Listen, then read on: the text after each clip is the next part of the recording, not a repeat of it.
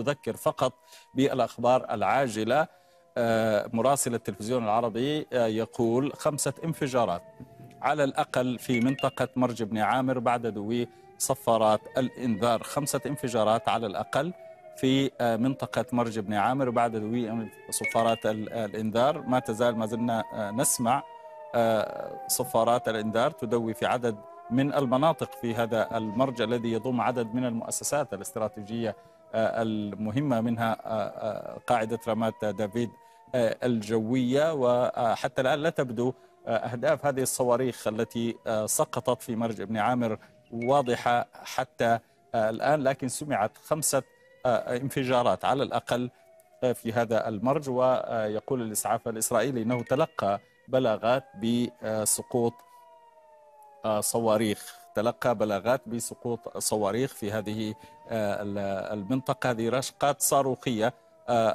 رشقتان على الأقل خلال الدقائق الماضية في هذا الوقت المتأخر من الليل من قبل حزب الله.